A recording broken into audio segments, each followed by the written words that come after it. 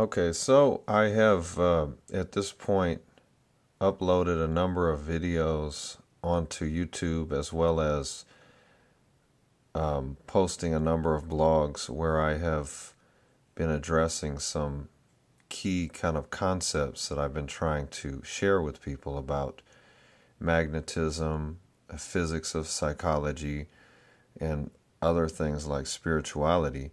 And what I wanted to do related to spirituality. What I wanted to do is to make another audio video to complement everything that I've put, all the YouTube videos that I've put, as well as everything that I've written on blogs that might be related. And specifically um, relating back to magnetism, the, the force of magnetism, the fundamental force of magnetism, and the two um, spins of magnetism the clockwise spin, the counterclockwise spin, the positive, negative spin, the um, polarity of magnetism. And I just want to give some drawings, some examples of my kind of sense or theory or understanding of how it plays out, um, how these structures, these um, figure eight cross patterns, or the, how this a sense of how this figure eight cross uh, fractal pattern works, what it looks like. I did a YouTube video on the uh, magnetic currents of, of, a good drawing of what that looks like or might look like in the human body, the two hemispheres of the physical body. So now I just want to kind of go through the whole thing and just give a sense of what this pattern looks like and why it's important and how we can utilize it to define and describe the underlying magnetic patterns that are shaping all the structures and forms that we see in nature and in life and you know in human life human beings. So um, i want to start with that kind of general kind of sense of of this audio video and then I just want to start at the beginning uh, of the drawing and just say that this drawing is essentially inspired by the work of Albert Roy Davis and Walter C. Rawls and their kind of their theory that um, of magnetic currents or of you know two distinct magnetic forces or magnetic spins uh, you know, magnetic polarity that, that actually have two different effects, two distinct effects. And so I want to start with um, this, this uh, what I have here, the, the whole picture is I have a hand and the fingers and the thumb and so on, and a range of uh, illustrations within this whole diagram that show that illustrate what it is I'm trying to communicate.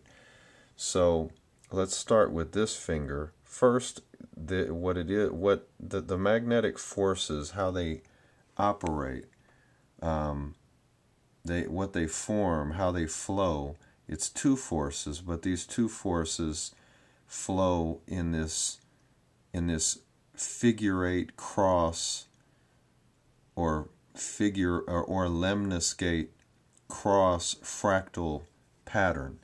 And this is a this is the just a sense of what these patterns how they could be mapped out or diagrammed on just within a finger. And if you look closely what you can see is the actual patterns the, the figure eight patterns the force patterns the magnetic force patterns for the the, the, the distinct bones as well as the joints in the finger. And um, so that's kind of the first thing that I wanted to show, um, that that basic pattern. And there's another, um, here's another kind of iteration of it, just to illustrate that what the, the, the magnetic forces, the, the way they play out as these figure eight cross patterns. They, they, they are fractal patterns and that they can be scaled down to you know any uh, you know any kind of magnitude or scaled up to any magnitude, and you can just continue fractaling one with one figure eight cross within another and so on and that's kind of to illustrate that now um, for there's another example which I was mentioning about the bones here you can see that when you look at a bone it actually is a figure eight pattern so and I do believe that it that basic pattern or structure or form is shaped by this figure eight um, pattern, magnetic pattern. Um, so now that's just the, the kind of beginning point, that, that this fractal pattern of figure eight crosses. And coming down, we can kind of um, we can get into some more. I mentioned the bone the bones here that would be mapped out by the figure eights as well as you know any of the bone structures but we can go and look at forms such as the face the human face or or any animal face or even the animal body and we can see we can find the this figure eight pattern and these force patterns at play. And so I think it's very vital to recognize these patterns and to you know do what we can to map them out accurately because if we can map these patterns out, uh, these forces, how they actually shape and form the body, if this theory is correct, then it will give us a much more complete and accurate knowledge of um, how the human being is, is structured and function and functions. So, just to give an, an overview of what these magnetic currents, how they look, what they look like, or how they operate what you have is you have two magnetic currents. You have one magnetic current that spins clockwise and then you have one another magnetic current which spins counterclockwise. So you have these two magnetic currents. And as I said before, that this is the basic theory of the research of Albert Roy Davis and Walter C. Rawls. Now, when you take these two magnetic currents and you overlay them over the human body. You take a human body and you map out and, and you map out a human body with these magnetic currents, you can see two hemispheres. You can see that the human body not just has two hemispheres, you know, brain in the brain, it has two hemispheres, or even you could say two lobes for the entire physical body.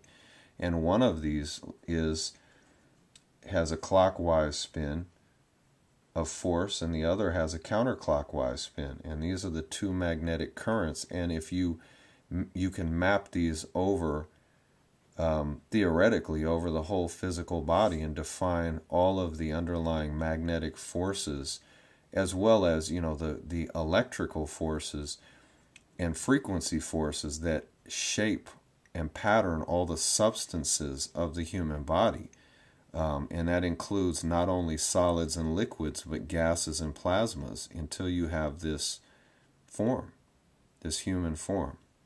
So there are two polarities, one on the left side, one on the right side, one that's clockwise, one that's counterclockwise. But also what's interesting is when you look at these magnetic currents, what as was said, they each have spins. So here you have this this diagram of these this force spinning along this finger and this magnetic current either spinning a force clockwise or counterclockwise. Okay, so you have these spins. So they're not just polarity, they're not just forces, they're not just currents, they're they're actually spins. Okay? And they form structures structures, once again, based on these figure eight patterns, whether that's bones or a human form or a face or even you know any number of other kind of structures or patterns based on that basic principle. Now, one thing that's important to recognize is when you look at there's this diagram, these two the, these two figure eight cross patterns right here if you look within this lower pattern, what you'll see is these lit, Lichtenberg figures, which are these figures of electrical current flow. And I, I think that it's possible to map out within these figure eight patterns the actual precise flow of electricity all throughout uh, reality um, and the human being as well. And another point that I think is worth considering is the possibility that flowing around or between these figure eight uh, cross fractal patterns are electrical current sheets, and that these may be very, um, they may be pockets of electricity in between or around these, or or or and or within these magnetic uh, figure eight patterns. Um, and when you look at this diagram right here, you can see that this has this kind of, there's something familiar about this. It has this same structure or pattern of so many shapes in nature. But I think this, you, you can also see this kind of pattern in the fingerprint world um, on, on our fingertips. And I think that this is a, a sense of how this, these magnetic uh, patterns kind of fractal and spin and kind of um, nestle one within the other. And as I was saying, when these currents spin, what they're doing is they're taking all the, these forces are taking all the substances of our human form that it's composed of and weaving them together into a whole kind of structure, form, pattern, or system. Now, when you go further and you say, well, how do you map this out? You know, if if this if this is true, um, or or to or to step back a little bit and to say, well, okay, first before you go down to that question, you say, well, where did you get the idea that this kind of model describes all of reality? Well, for there's a couple reasons. There's the human form, which is one, you know, it's right within reach and all the natural animal structures and patterns. But there's another one. There are galaxies. Galaxies follow this this same basic pattern or model. Um, that's how they're structured. Uh, the sun, the planets, um, and I would argue even these large, vast uh, areas of space probably have these forces and patterns within them. Um, so that's kind of the basic theory, and, and also that the concept that there's such a thing as magnetic materials and non magnetic materials, I think that that whole theory is erroneous. I think that that there are that all materials are magnetic to gr- to greater or lesser degrees or extents, and they there and that there are all kinds of different forms of magnetic relationships. Now, this final uh, part of the image that I want to show you is lines that are kind of mapped out over a finger that are um, where I'm kind of roughly beginning with the fingerprint whorls. So the the point is, I think that in the fingerprint whorl uh, of the human hand, there may well be the starting point for mapping out these magnetic patterns, forces, or currents uh, for the whole human body. And this is kind of where you come back to this figure eight cross pattern here. Um, and once once we can create this, we can create 3D models of this for the human body, um, and in any way kind of test or prove or confirm this, then we can go on and do so much more in other areas. So I just want to put this out there. I want to make it available. I want people to think about it, especially artistic people and others, uh, technical kind of computer people and, and see what you can do to map this out mathematically or three dimensionally, um, you know, in computer models. Thanks.